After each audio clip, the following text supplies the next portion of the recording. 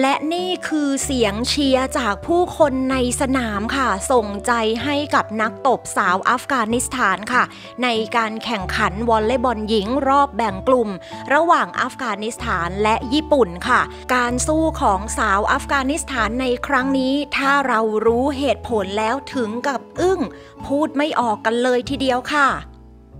จากการแข่งขันวอลเลย์บอลหญิงในศึกเอเชียนเกมปี 2022 ครั้งที่ 19 ที่เมืองหางโจวประเทศจีนนะคะ ก็มีเรื่องราวเกิดขึ้นมากมายนะคะ โดยเฉพาะการแข่งขันเมื่อวันที่ 1 ตุลาคมที่ผ่านมานะ เป็นการแข่งขันของกลุ่มดีค่ะ ระหว่างประเทศญี่ปุ่นกับประเทศอัฟกานิสถานนะคะ แล้วก็อย่างที่เพื่อนๆหลาย ๆ คนทราบกันนะคะ ว่าสกอร์เนี่ยค่อนข้างที่จะช็อกโลกกันเลยทีเดียวนะคะ แน่นอนค่ะว่าเป็นทางทีมชาติญี่ปุ่นที่เอาชนะอัฟกานิสถานไปได้แบบขาดลอยนะ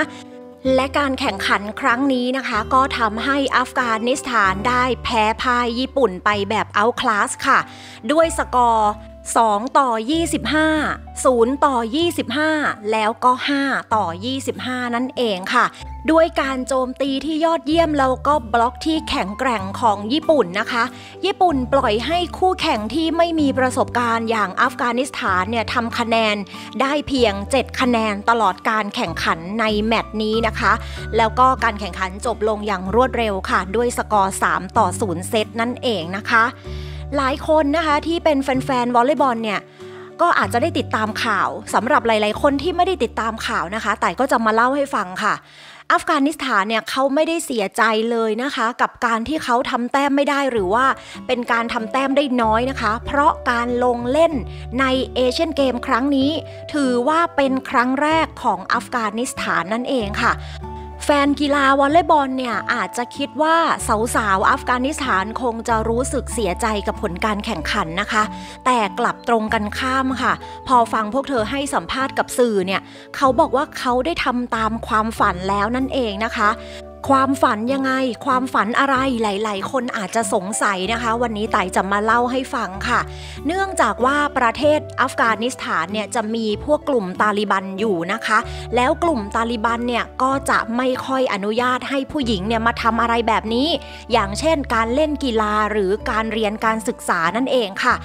ดังนั้นนะคะการที่พวกเขาได้เข้าร่วมในเอเชียนเกมปี 2022 ครั้งนี้นะคะ ก็ถือว่าเป็นการกระตุ้นให้ผู้หญิงคนอื่นๆ ในประเทศอัฟกานิสถานเนี่ยได้ลุกขึ้นมาทำตามความฝันค่ะ พวกเธอต้องการฝ่าฟันความขัดแย้ง ฝ่าฟันการถูกในประเทศและถูกคุกคามครอบครัวบ้านเกิดนะ เพื่อที่จะมาแข่งขันในหางโจเกมครั้งนี้ค่ะ เนื่องจากการเล่นกีฬาของผู้หญิงในอัฟกานิสถานเนี่ยถูกกลุ่มตาลิบันสั่งห้ามนะคะทุกคน พอพวกเขากลับคืนสู่อำนาจในปี 2564 นั่นก็หมายความว่าไม่มีนักกีฬาหญิงคนไหนของอัฟกานิสถานได้รับการสนับสนุนเลยค่ะ รวมถึงไม่สามารถเดินทางออกนอกประเทศมาร่วมแข่งขันได้นะ ทั้งนี้ด้วยความช่วยเหลือขององค์กรกีฬาระหว่างประเทศหลายกลุ่มนะ ก็จะทำให้อัฟกานิสถานที่อยู่ในต่างประเทศเนี่ยสามารถที่จะมาแข่งขันกีฬาได้นั่นเองค่ะ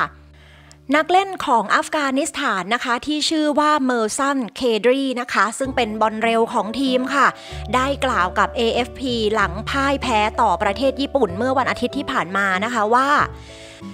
ฉันคิดว่ามันเป็นความหวังอันยิ่งใหญ่สำหรับผู้หญิงอัฟกานิสถาน ที่พวกเขาจะไม่ละทิ้งความฝัน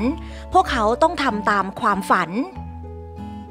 มันยากมาก สำหรับผู้หญิงอัฟกานิสถานที่จะเข้าร่วมเอเชียนเกม เพราะมันเป็นสถานการณ์ที่ยากลำบากสำหรับเรา ทุกคนรู้ดีเกี่ยวกับสถานการณ์ของอัฟกานิสถาน มันเป็นประสบการณ์ที่ดีสำหรับทีมหญิงของเรา นี่เป็นประสบการณ์ครั้งแรกของเราในการเข้าร่วมเอเชียนเกม และฉันคิดว่าเรารู้สึกประหม่ามาก แต่พวกเราก็ได้พยายามกันอย่างเต็มที่แล้ว และนี่ก็เป็นคำให้สัมภาษณ์ของเคดรีนะคะ บอลเร็วนะคะวัย 25 ปีค่ะ ส่วนนักกีฬาท่านอื่น ๆ ของชาวอัฟกานิสถานนะคะ ก็ต้องบอกตามตรงว่าเขาปฏิเสธที่จะให้สัมภาษณ์ค่ะ เพราะเขาก็กลัวว่าครอบครัวของเขาบางคนที่ยังอยู่ในอัฟกานิสถานอาจจะถูกคุกคามได้ อาจจะถูกตอบโต้ได้นะคะ เขาก็กลัวในเรื่องของความปลอดภัยนั่นเองค่ะ